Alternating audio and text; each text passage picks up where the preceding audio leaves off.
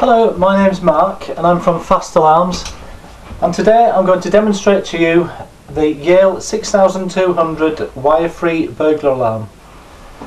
Here we have 104 decibel external siren, two infrared movement sensors, two magnetic door contacts, wire-free as you can see, there are no wires needed to um, install this system.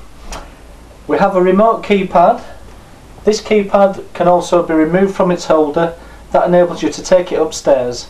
It's very easy to use. To set the alarm, all you do is press the red button. Heard the chirp then and we saw the lights flash. If you watch the lights again, when we unset the alarm, set is just the red button, unset is green followed by whatever your phone number personal code is. And we hear two bleeps and we see the lights flash. So the alarm is now unset. We can also, using the two top buttons there when pressed simultaneously, use the handset as a panic alarm. By pressing these for two seconds, we set the alarm off. Ah. To stop the alarm, it is quite simple.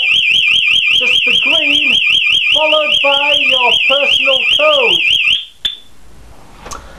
So there we are. So external, very loud siren. My ears are still ringing.